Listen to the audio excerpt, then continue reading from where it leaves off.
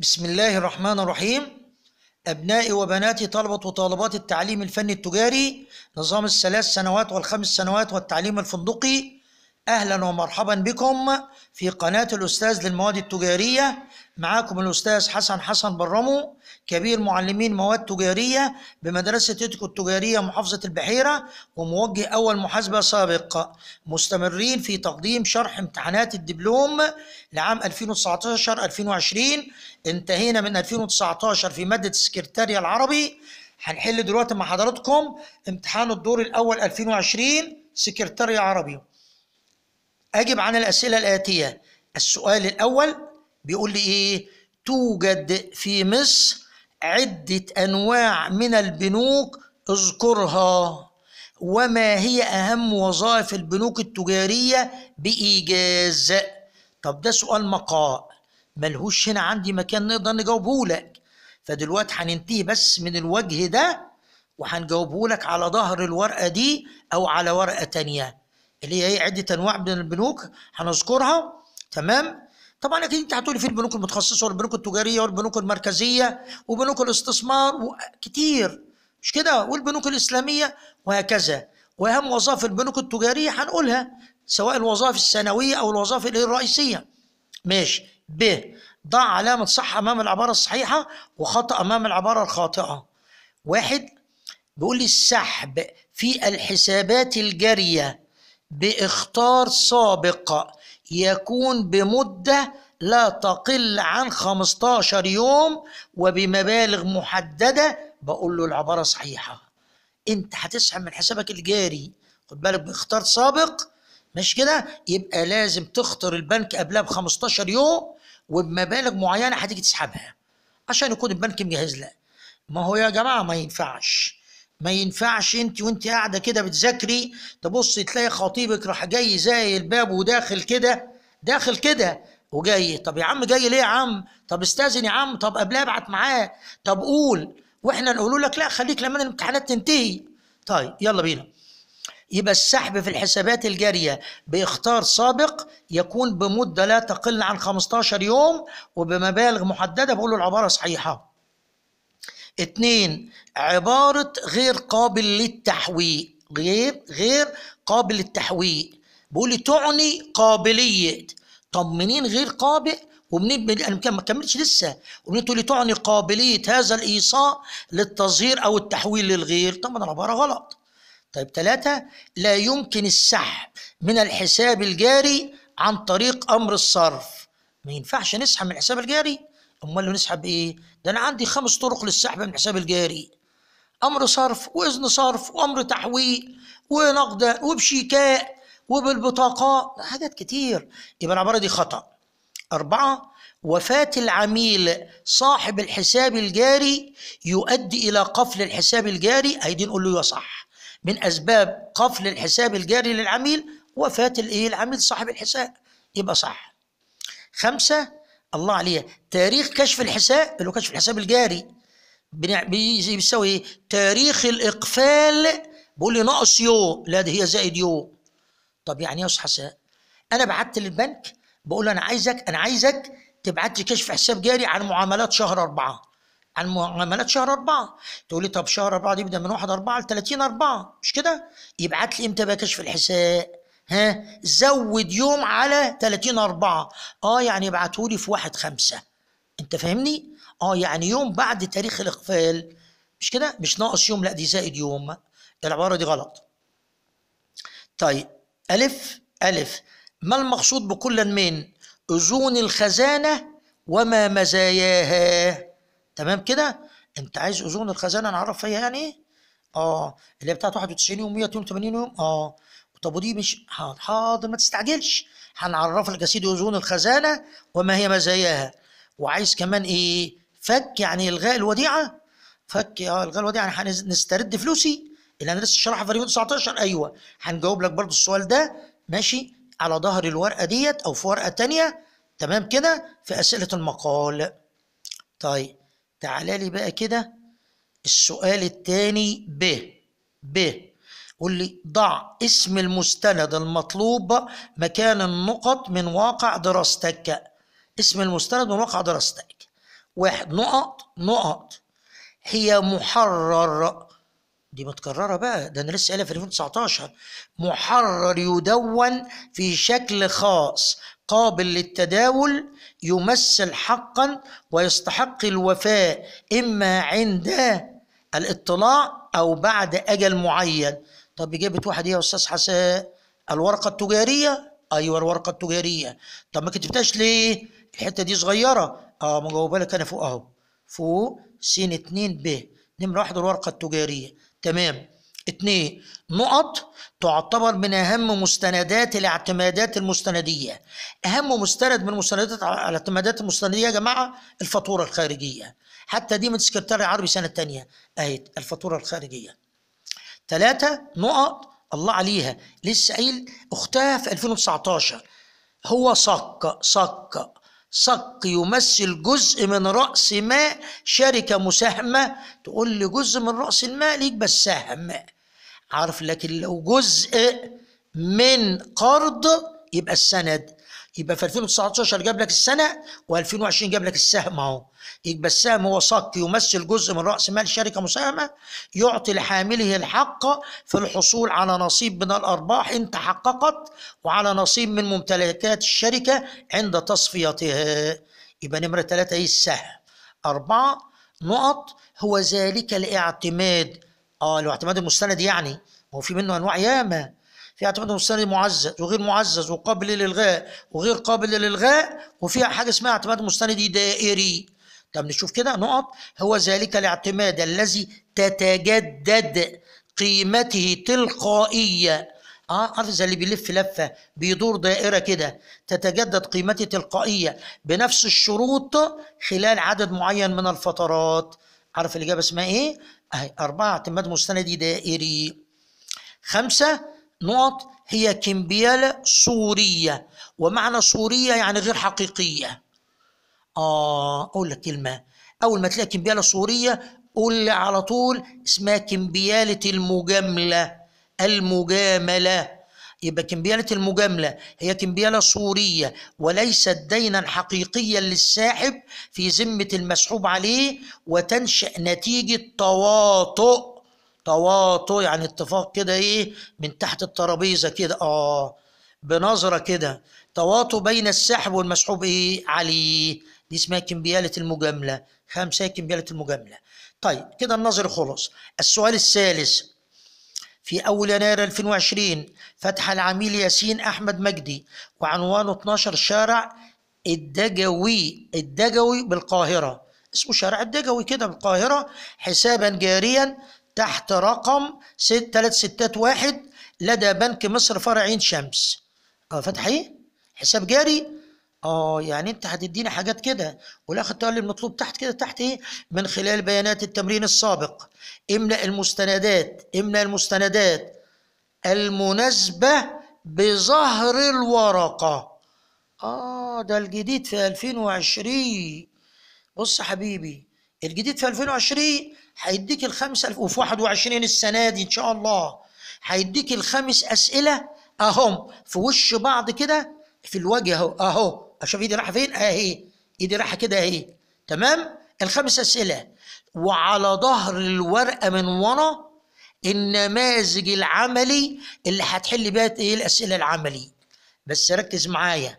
يعني أنا هنا بقول إيه؟ المطلوب. من خلال بيانات التمرين السابق املأ المستندات المناسبة بظهر الورقة اللي هو عايز إيه بقى عايز كشف الحساب الجاري وعايز التحويل الحسابي. عايز كشف الحساب الجاري والتحويل الحسابي؟ ماشي. يعني أنت هتعمل لي نموذج لكشف الحساب الجاري والتحويل الحسابي؟ أيوه. بس مش هيقول لي إن دول بتوع السؤال الثالث آه والنماذج بتاعت السؤال الرابع مش هقول بتوع الرابع والنماذج بتاعت السؤال الخامس مش هيقول لي بتاعت السؤال الايه الخامس أمال هيقول لي إيه؟ أنتوا بتوجعوا قلبنا ليه؟ هيقول لي يا عم والله هنديك كلمة كده في الوسط في الوسط هتبين لك إن دي بتاعت دي ودي بتاعت دي. بس اهدى عليا. يبقى في أول يناير 2020 فتح العميل ياسين أحمد مجدي وعنوانه 12 شارع الدجوي القاهرة حسابا جاريا تحت رقم 361 لدى بنك مصر فرع عين إيه شمس. وكانت العمليات التي تمت بين البنك والعميل خلال شهر يناير.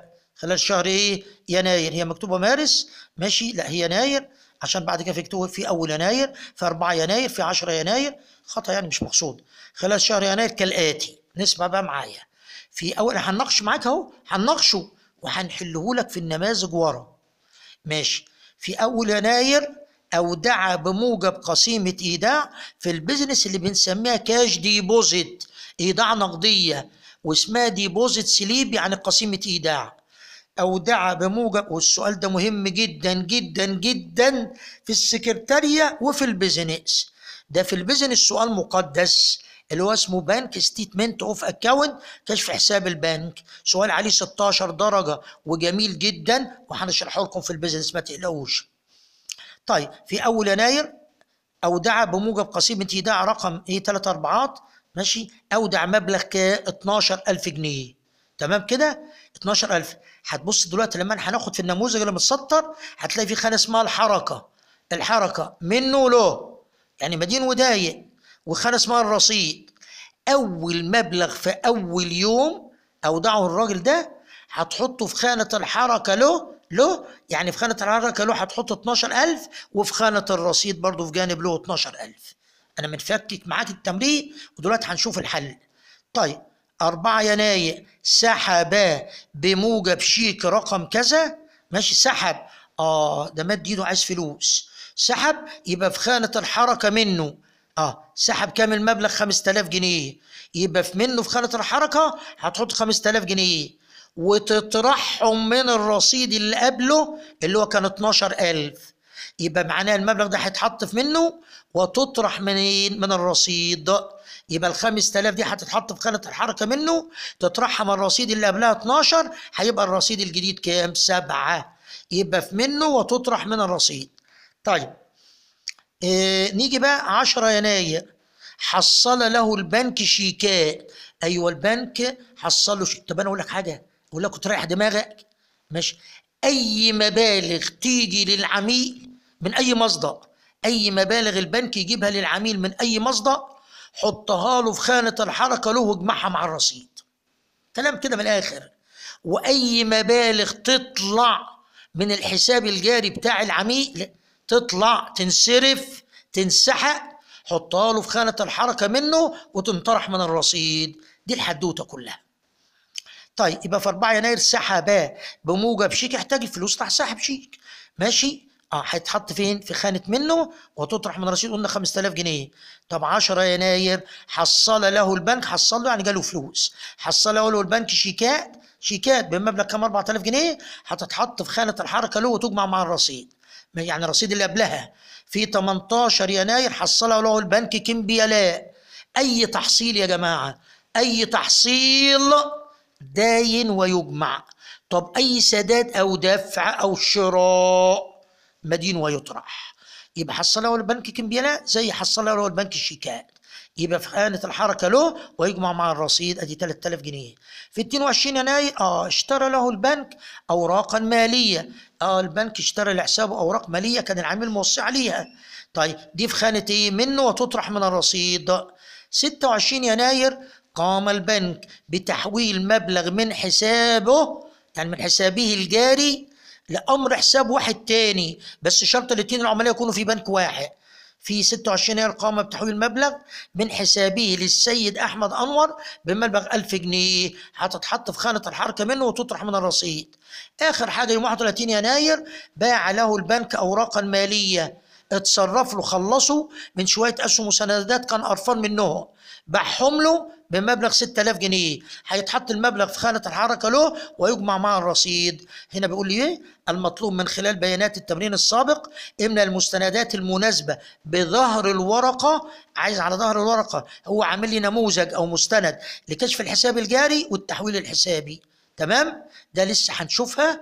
على إيه؟ ظهر الورقة. طيب. ب بيقول من خلال بيانات التمرين السابق املأ المستند الخاص بإشعار الخصم الخاص بالعملية اللي هي بتاريخ 26 1 2020 طب يا 26 1 دي آه دي أمر تحويل. 26 1 قام بتحويل مبلغ ماشي اللي هو 1000 جنيه.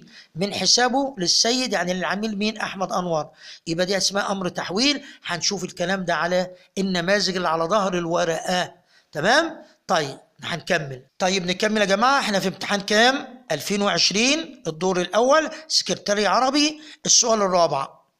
ألف بيقول لي في أول أبريل 2020 طلب أدهم بركات عنتر وعنوانه 15 شارع النصر بطنطا من بنك القاهرة فرع النحاس أن يودع الأوراق المالية الآتية لحفظها بصفة أمانة بملفه رقم 2453 ماشي طرف البنك بإيصال رقم 333 الراجل أدهم ده طلب منين؟ طلب من بنك القاهرة فرع النحاس في طنطا قال له يا عم خد الأوراق المالية دي وحطها لي عندك تمام كده بصفة أمانة بالملف بتاعي هيحط إيه؟ هنا إيه؟ 60 سند من سندات البنك الوطني للتنمية و100 سهم من أسهم المصرية للاتصالات و200 سهم من أسهم السويس للأسمنت.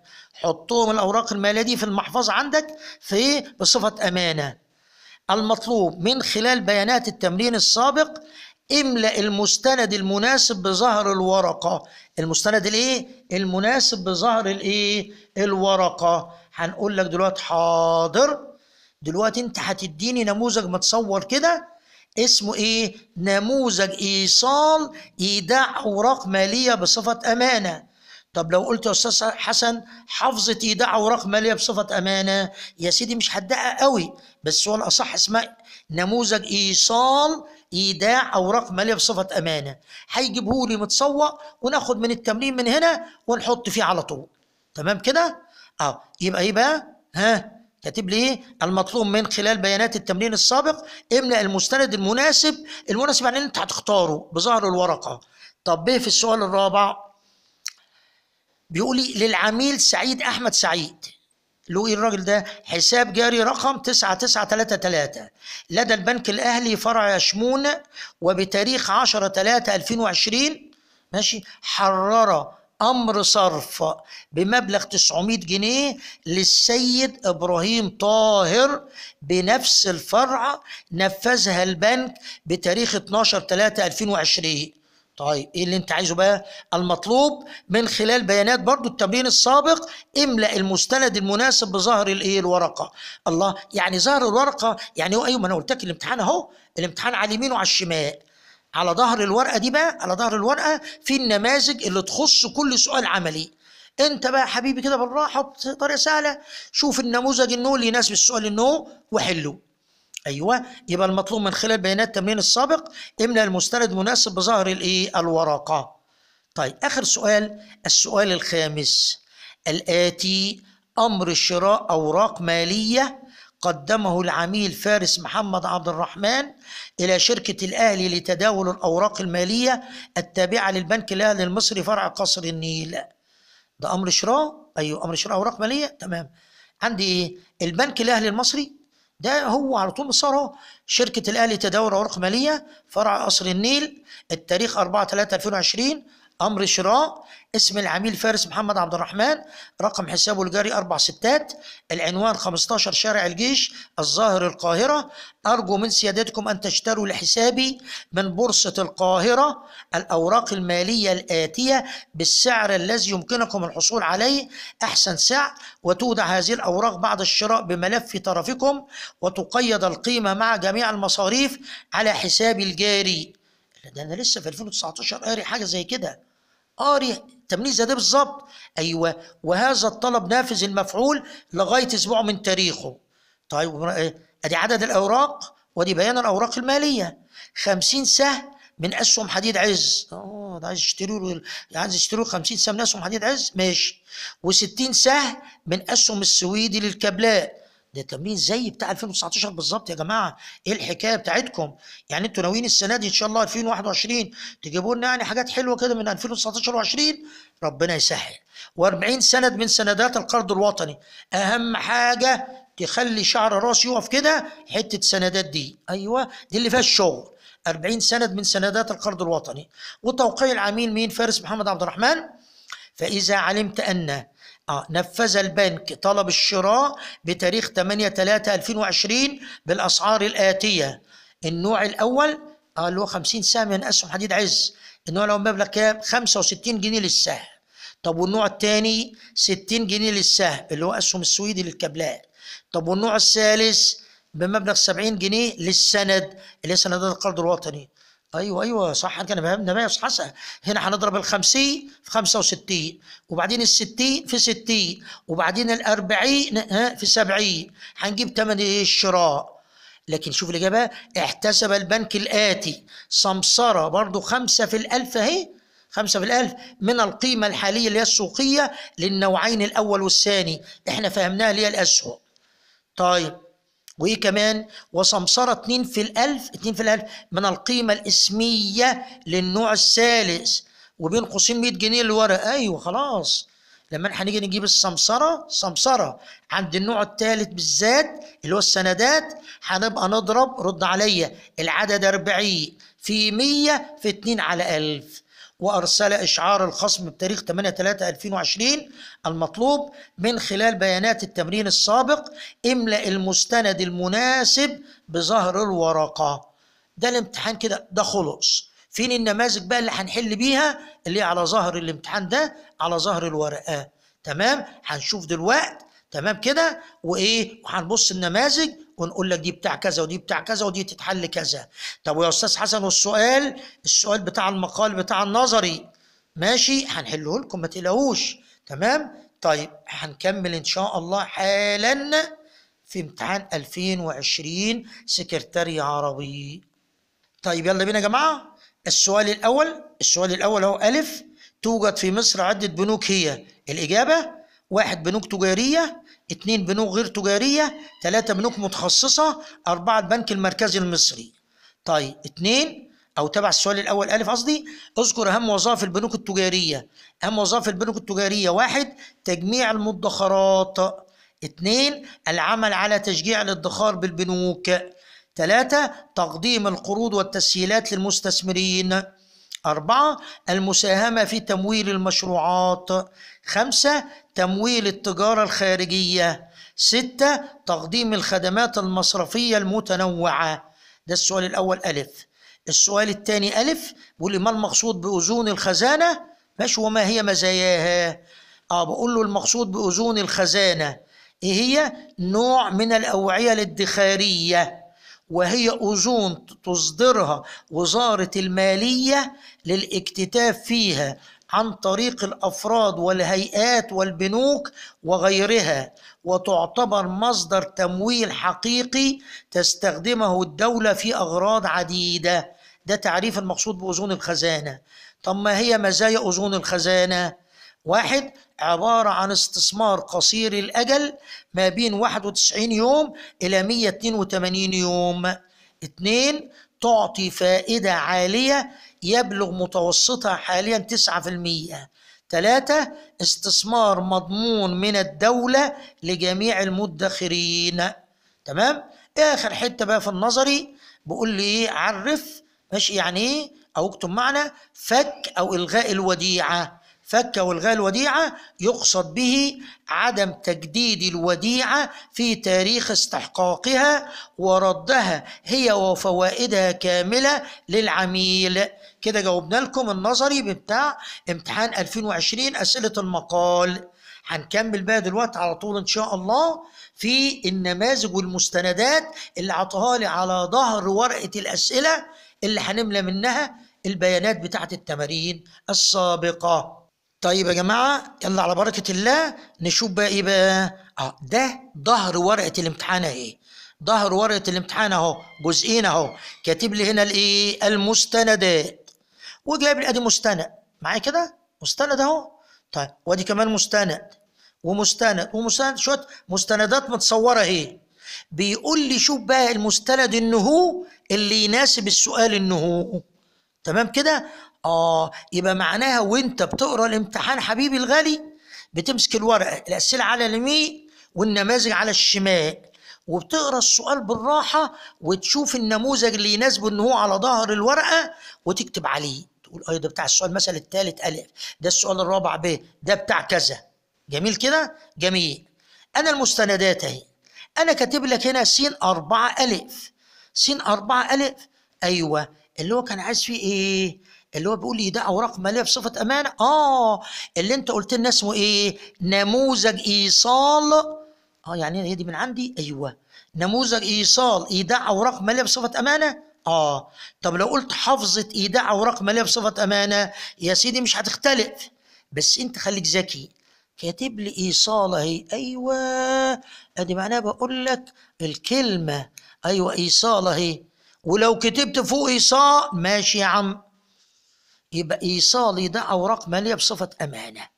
البنك اسمه بقى من التمرين. البنك اسمه بنك القاهرة شركة القاهرة لتداول الأوراق المالية. فرع النحاس التاريخ 1 4 2020 البيانات أنا كاتبها بخطي دي منين؟ من التمرين.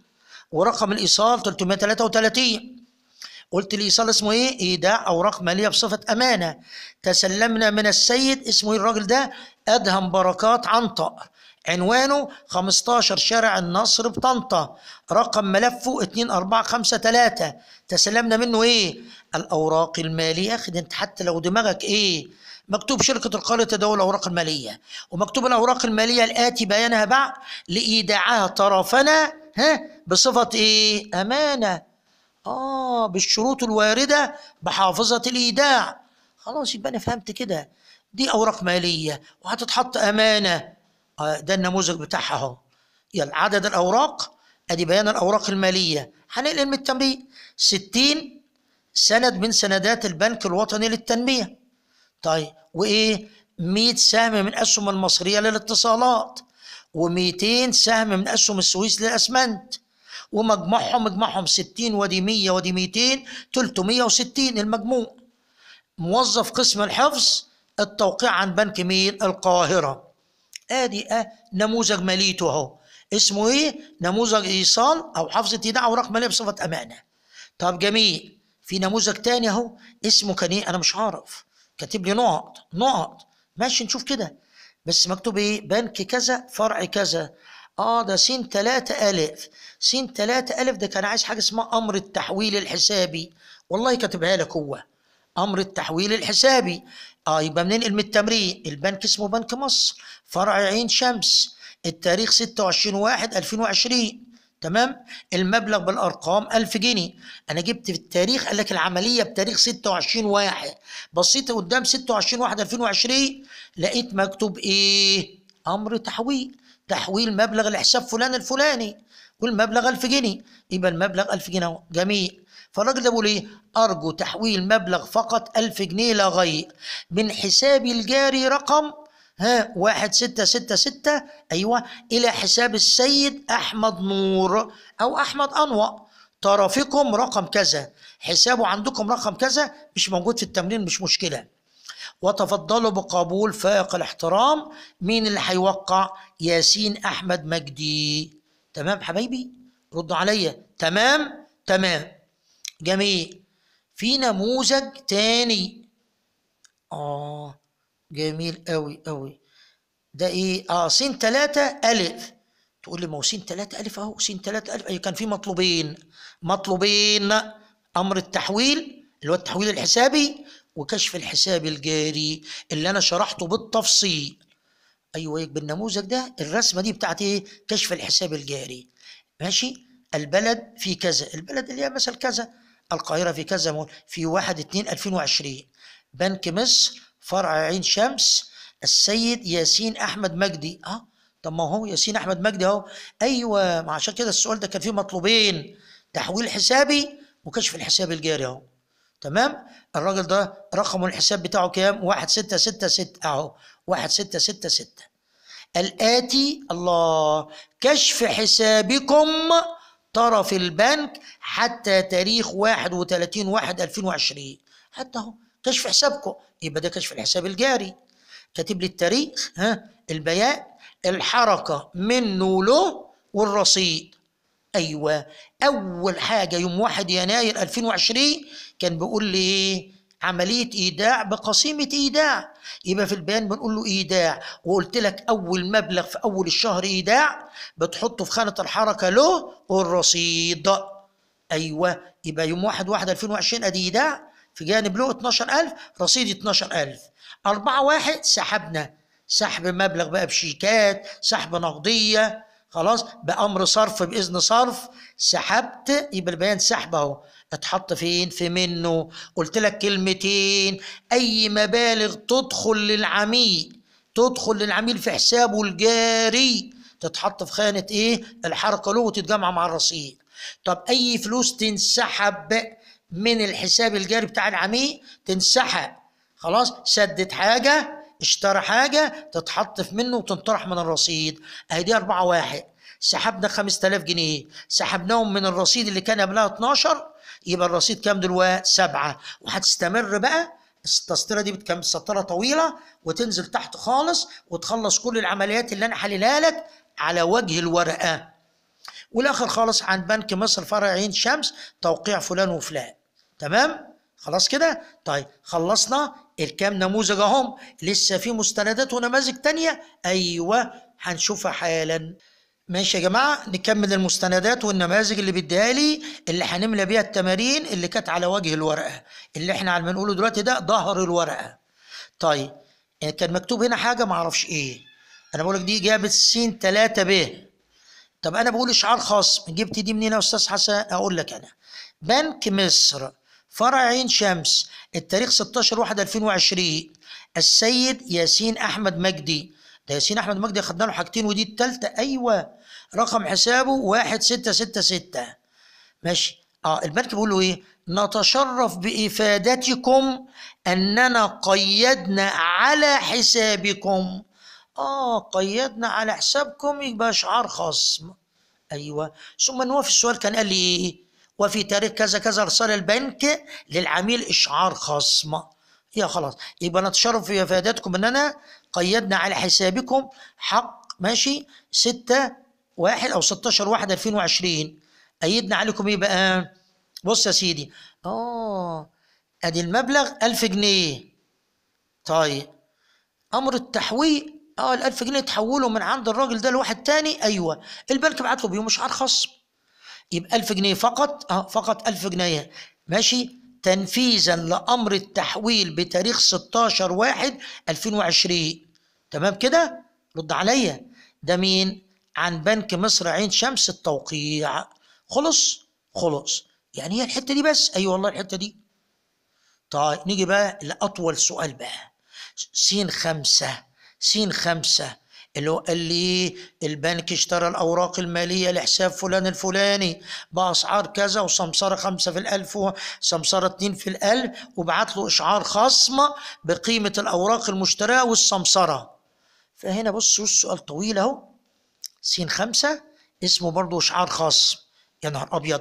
يعني هنا شعار خصم وهنا شعار خصم أيوه يا سيدي. بس ده يخص سؤال وده يخص سؤال هنا قال له إيه؟ قيدنا على حسابكم. يبقى شعار خصم تعالى نشوف بقى هنا. سين خمسة اشعار خصم آه بنك الأهلي المصري شركة الأهلي تداول الأوراق المالية فرع قصر النيل التاريخ 8 3 2020 آه اشعار خاص. الله طب مكتوبة أهي. وأنت بتتعب قلبي وقلبك ليه؟ أهي. اشعار خاص. حطه له فوق اشعار خاص. السيد فارس محمد عبد الرحمن العنوان 15 شارع الجيش الظاهر القاهرة رقم الحساب أربع ستات أو أربع ستات تخان أهو. آه. خصمنا برضو مش على حسابكم من حسابكم. خصمنا من حسابكم إيه؟ خصمنا. ثمن شراء الأوراق المالية المذكورة بعد بموجب أمركم بتاريخ 4 3 2020 وجاب لي بقى عدد الأوراق وبيان الأوراق المالية ودي السعر والثمن يبقى معناها يا جماعة في 2019 و2020 جاب في السنتين دول أمر الشراء. طب حد يقول لي السنة دي يبقى المفروض يجيب لي أمر البيع؟ لا طب وإيه المنع يجيب تاني أمر الشراء؟ ما أعرفش. طيب عدد الأوراق. أدي 50 سهم من أسهم حديد عز سعر السهم 65 جنيه. يبقى هنضرب 50 في 65 ب 3250 جنيه. 60 سهم من أسهم السويدي للكابلات. سعر السهم 60 جنيه هنضرب 60 في 60 ب 3600 طيب ادي بقى 40 سند من سندات القرض الوطني. سعر السند 70 جنيه يبقى 40 في 70 ب 2800 إجمالي الثمن هنجمع ال 3250 و 3600 و 2800 عاملين 9650 ده إجمالي السماء احسب لي يا أستاذ حسن بسرعة بقى كده السمسرة. وريحني بقى من وجع الدماغ ده. أيوه كاتب لك هو أهو. زي الامتحان تاني بالظبط. سمسرة النوع الأول. آه النوع الأول اللي هو المبلغ 3250 بتاعت اسهم حديد عز. أيوه. في 5 على 1000 ب 16 جنيه وربع. 16 و25 من 100 طيب وسمسرة النوع الثاني اللي هي بتاعت السويدي الكابلات. أيوه. اللي هم 3600 في 5 على 1000 عاملة 18 جنيه ونقف دقيقة وناخد نفس طويل. بس ما نكتموش في صدري نطلعه كده.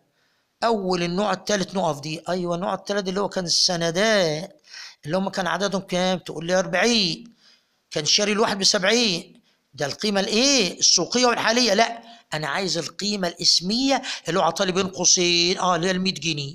يبقى 40 في 100 في 2 على 1000 هتطلع 8 جنيه. تمام؟ دي سمسرة السندات.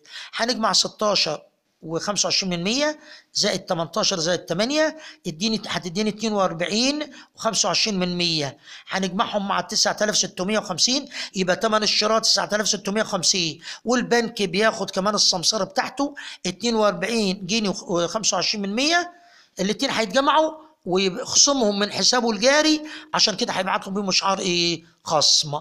يبقى المجموع 9692 25 من 100 هنفقط 9692 و25 على 100 جنيه عن البنك الأهلي التوقيع. تمام؟ جميل. نيجي بقى س 4 ب. س 4 ب دي اسمها أمر إيه؟ صرف. أمر صرف. طيب هنشوفها بقى.